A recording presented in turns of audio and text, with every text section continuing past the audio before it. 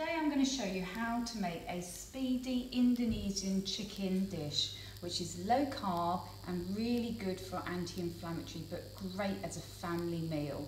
Takes very little time to make. So first thing we're going to do is make a sauce and that I'm going to stick in um, my NutriBullet or just you could use a blender or food processor. So in here I've got a can of full fat coconut milk and then I'm going to add my flavourings.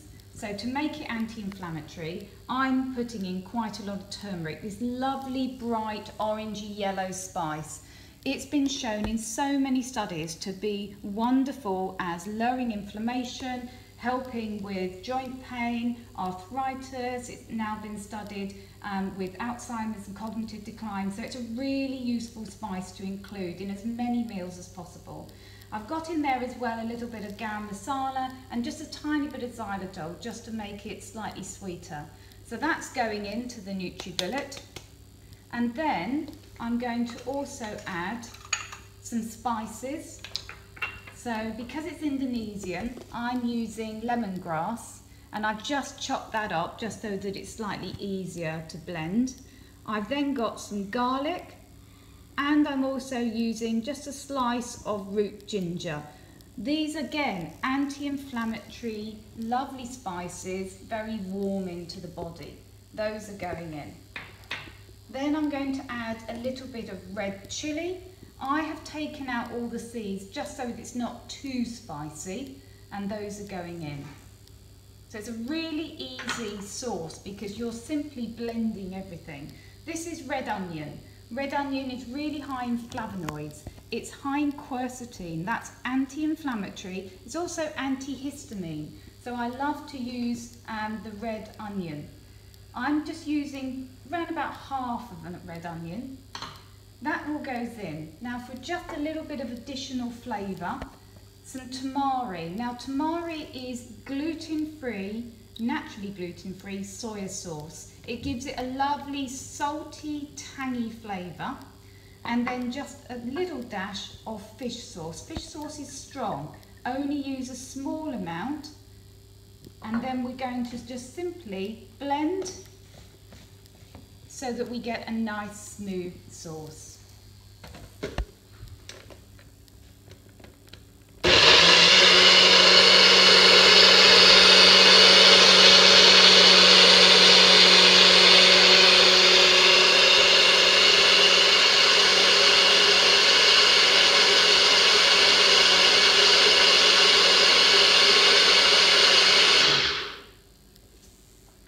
So just blend it for a minute or so and you get a lovely thick creamy sauce.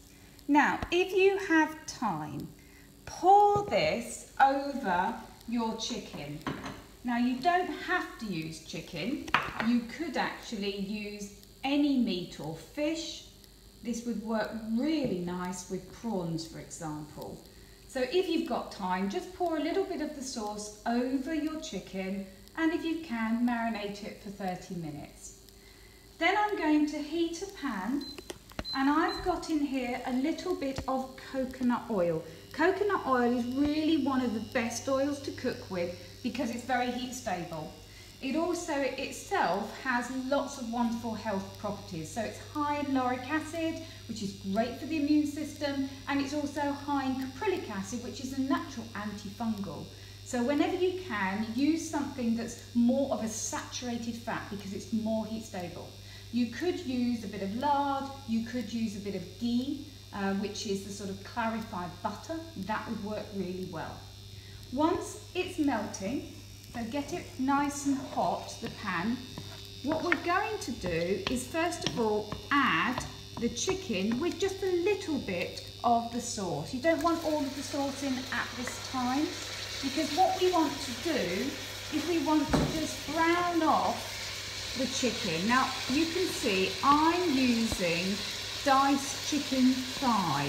I like to use the thigh, it has a lot more flavour than just the breast, but you could use anything, just chop it up. Now if you are short of time and you really want to get this done quickly for the family, chop it up small because then it will cook a lot quicker.